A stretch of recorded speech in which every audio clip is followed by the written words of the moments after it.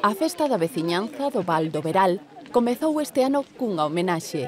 A área recreativa de Rebordaos levará agora o nome do doutor Arija.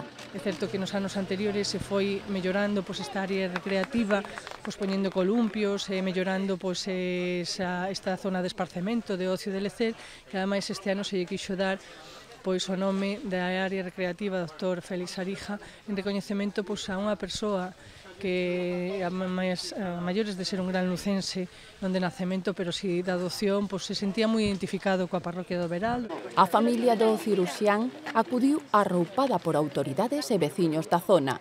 Para nosotros es un día muy emotivo porque es un reconocimiento pues, de los vecinos, de todas las personas con las que él estaba pues, en el día a día y claro que se eh, le recuerde pues, años después de, pues de que no esté con nosotros, para nosotros é un, es un eh, aspecto moi especial. Chegaron a 250 as persoas que a Federación de Veciños convidou este ano a Festa da Troita con Xamón. Aquí está reunido pois Loca e Reborda, Osveral, Astariz, Santa María Alta, mm, Astor Bazai, Vila Chademera, todo o cauce do río Mera. Son de Santa María Alta, home, pois a, a festa pareceme maravilloso. Todo o que sea xuntar os veciños e haber armonía entre todos, pois fantástico. Parroquia San Vicente de Beberal, e das que se organizou isto, estuve en todas, porque me trataron ben e que a festa tenta a fomentar a convivencia entre a veciñanza.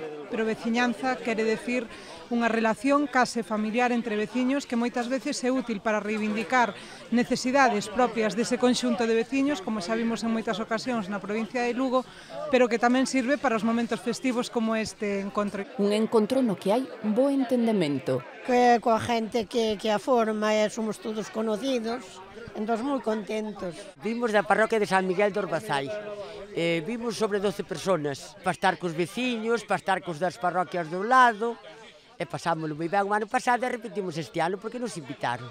Ademais, trátase de conmemorar unha tradición. A pesca de troitas no, no río Mera, que tan exitosa foi durante os anos 60, 70 e mesmo se estendeu ata os anos 80 e que hoxe en día, bueno, pois, aínda que a natureza cambiou, o medio ambiente cambiou, sí que rememoramos esa pesca histórica. É unha festa gastronómica que se trata de potenciar, ademais, este tipo de áreas recreativas e potenciar o rural tamén, que son todo veciños desta cuenca do río Mera.